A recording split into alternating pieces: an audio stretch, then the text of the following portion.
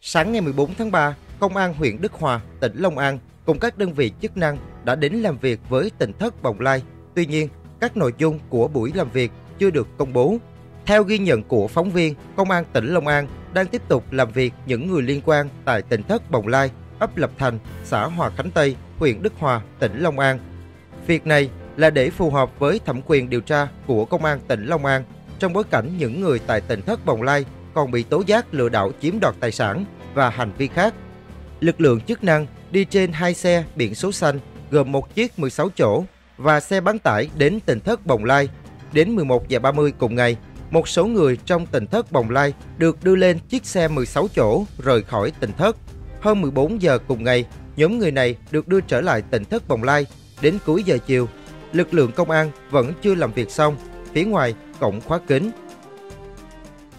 Tỉnh thất Bồng Lai là nhà riêng của bà Cao Thị Cúc tại xã Hòa Khánh Tây, huyện Đức Hòa. Gần 10 năm trước, bà Cúc đưa nhiều tượng Phật, đồ thờ cúng về nhà, biến nơi này thành cơ sở thờ tự. Năm 2015, ông Lê Tùng Vân, ngụ quận 6, thành phố Hồ Chí Minh, chuyển đến đây để sống cùng với bà Cúc. Ban trị sự Giáo hội Phật giáo Việt Nam tỉnh Long An khẳng định nơi này biến gia thành tự.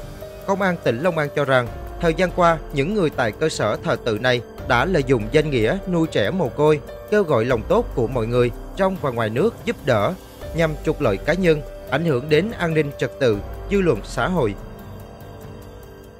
Liên quan đến vụ việc xảy ra tại tỉnh thất Bồng Lai, ngày 2 tháng 11 năm 2022, Tòa án Nhân dân tỉnh Long An tuyên phạt bị cáo Lê Tùng Vân 5 năm tù, Lê Thanh Nhất Nguyên, Lê Thanh Hoàng Nguyên, Lê Thanh Trùng Dương bị phạt cùng mức án 4 năm tù.